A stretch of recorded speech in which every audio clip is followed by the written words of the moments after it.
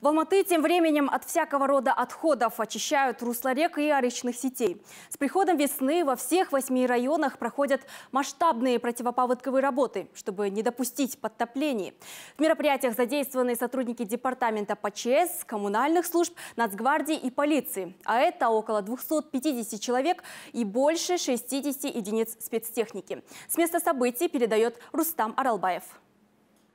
В поводкоопасный период работы по очищению русел рек от наледи и мусора проводятся ежедневно. Только в Ауэзовском районе на эти цели привлечено 40 человек и 20 единиц спецтехники. Аналогичные мероприятия проводятся и в других районах города. Основной участок работ расположен вдоль реки Каргала.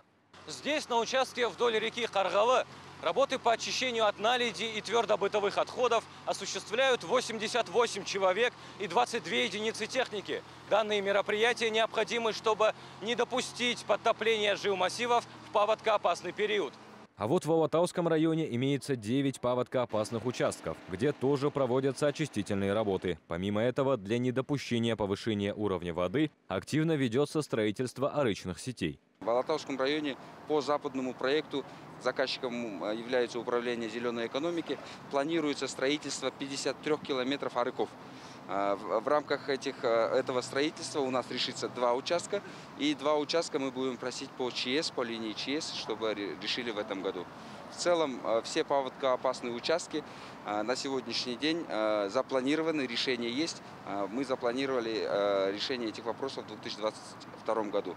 Всего в городе имеется 11 паводкоопасных участков. Они находятся под особым контролем Департамента ПЧС и других городских служб. Все эти учения значит, направлены и имеют практический смысл именно в тех местах, где имеется угроза подтопления. Необходимо отметить, что в городе паводкоопасная ситуация находится, э, она стабильная, находится значит, э, всегда под контролем.